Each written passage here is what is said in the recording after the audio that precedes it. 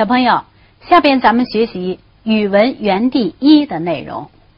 来，我们看一看，在我的发现中，你看到什么了？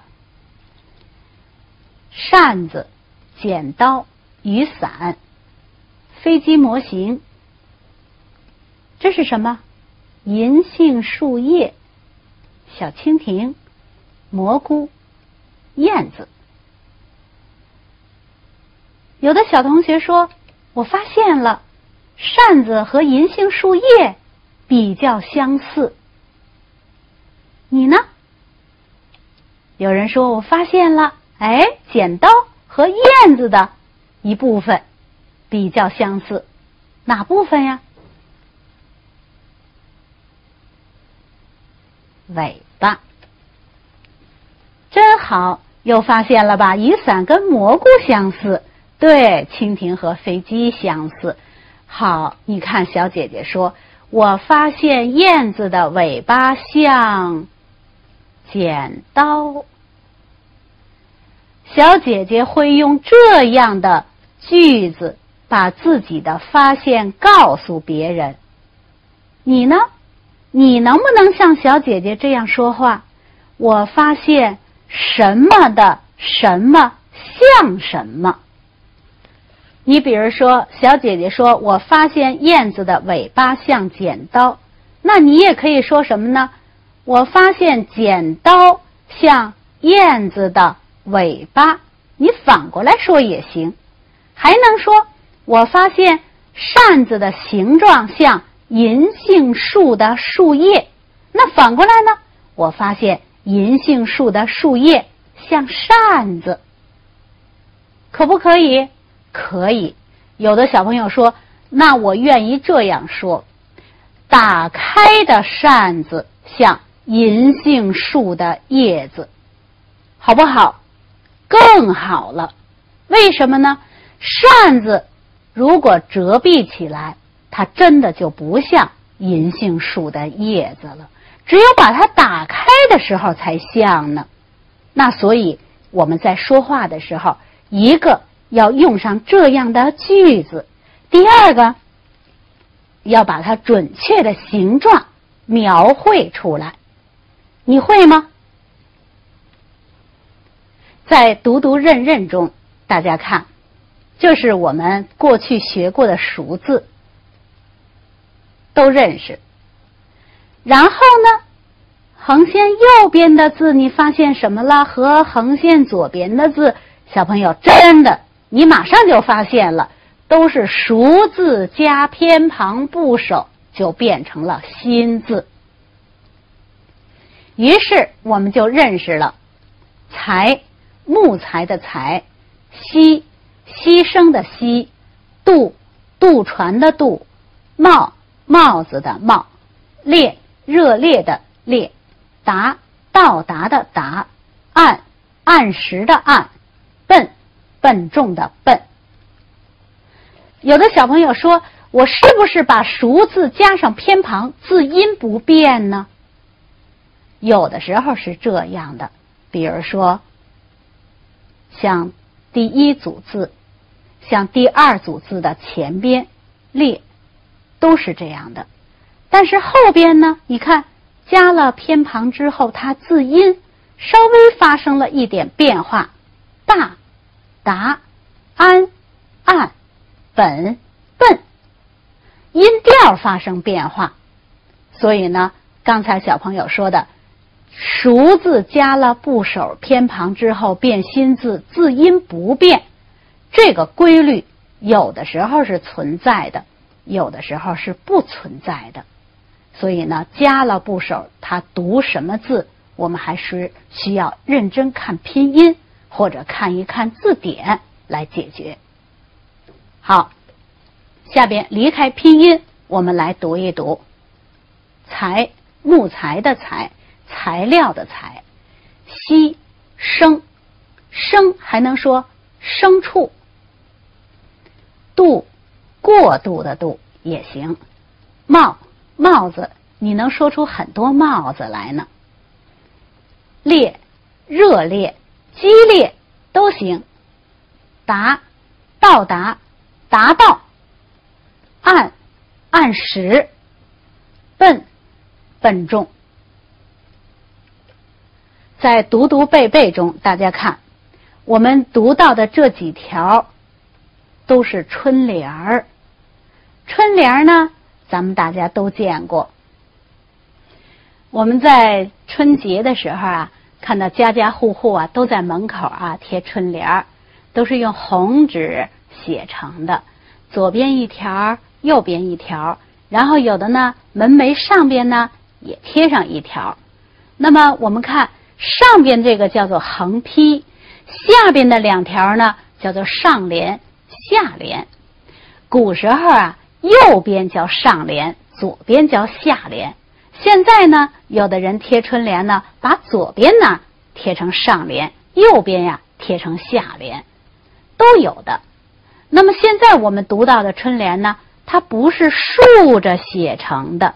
他把竖着写成的字啊，变成了咱们习惯的阅读形式，横着出现了。来，我们读一读：“杨柳绿千里，春风暖万家。”注意，大家读的时候啊，上联儿和下联儿，也就是说，你们说的前半句、后半句也可以。上联和下联读的时候，节奏和停顿相同。比如“杨柳绿千里”，你是这样读的：“杨柳绿千里”。到下联也这样读：“春风暖万家”。你看上下联字数是相等的呀，当然停顿的位置也是相等的。你这样试着读一读下边：黄莺鸣翠柳，紫燕剪春风。春风放胆来梳柳，夜雨瞒人去润花。春风一拂千山绿，南雁双归万户春。你看，停顿。节奏是相同的。那么，咱们读着这样春联的时候，我们是不是也在思考，它在描绘什么景象呢？小朋友，都在说春天来了，都在告诉我们春光无限美，但是角度不一样。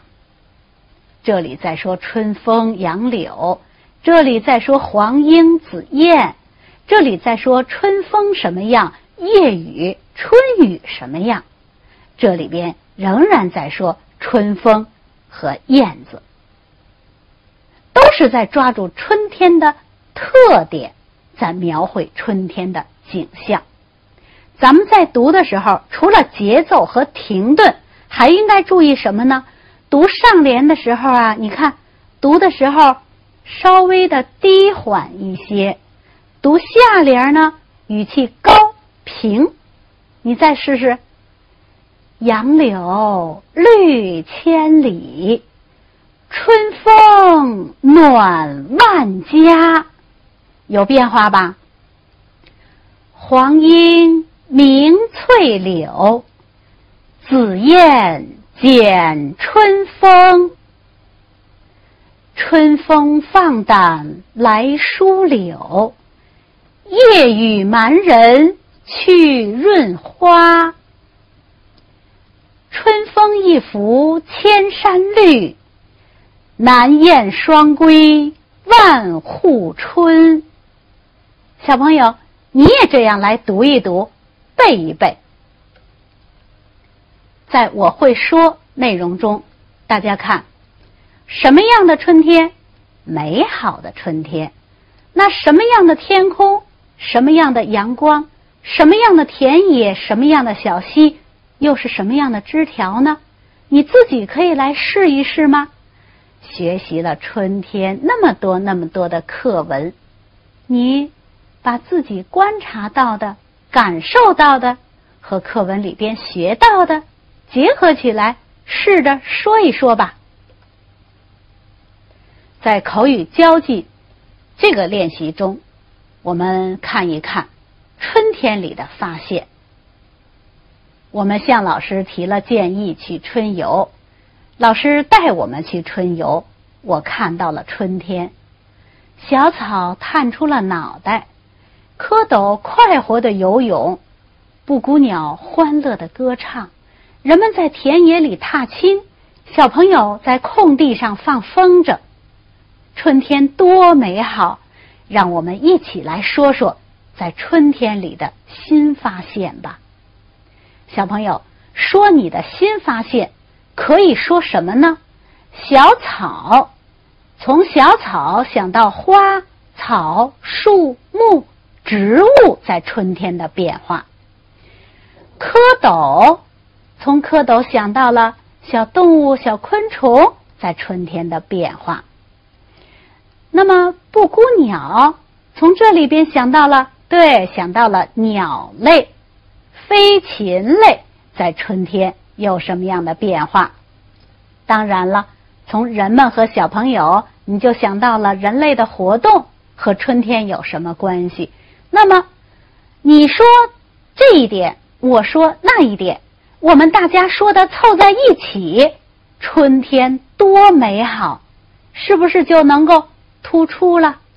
好，来说说你自己在春天里的新发现吧。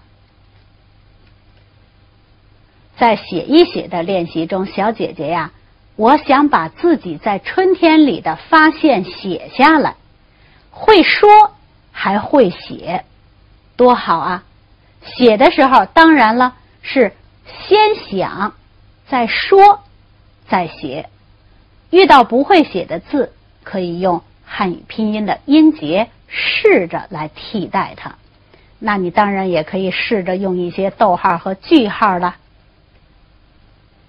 在展示台中啊，我们再来看看。小姐姐说：“这是我的书法作品，你看，这就是对联儿。”那小哥哥说：“这是我收集的描写春天的词句，他们都有收获。无论是词句收获，还是书法作品，都和春天的内容有关系。我想啊。”你也会有的，在宽带网中，大家看，宽带网那一定是和我们学习有关系的一些课外内容在这里边出示和呈现。这次我们看到的是春天里开的花可真不少，迎春花、玉兰花、杜鹃花，让我们到大自然中去找找春天还有哪些花。看看谁报的花名多，真的是春天开的花。许多城市或地区都有自己的市花或区花，如北京是月季花，洛阳是牡丹花，香港是紫荆花，澳门是莲花。查一查资料，我们可以了解到其他城市的市花。小朋友。你生活的城市或者是地区，市花、区花叫什么名字呀？赶快告诉别人吧。除了市花，还有市树呢。比如北京国槐就是市树，你们那里有吗？好，小朋友，第一组课文我们就学到这里。